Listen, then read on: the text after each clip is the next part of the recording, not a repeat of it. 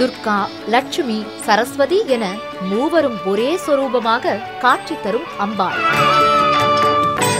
பதினெட்டு கரங்களோடு காட்சி தரும் அபூர்வ துர்க்கை அம்மன். கும்பகோணம் மடத்து தெரு ஸ்ரீ ஞானாம்பிகா சமேத ஸ்ரீ காளஹஸ்தீஸ்வரர் ஆலயத்தில் வீற்றிருக்கும் ஸ்ரீ அஷ்டாதசபுஜ மகாலட்சுமி துர்க்கை தரிசனம். ஆலயங்கள் அற்புதங்கள். இன்று காலை ஆறு மணிக்கு. மறு ஒளிபரப்பு மாலை ஆறு மணிக்கு. நமது புதியுகத்தில்.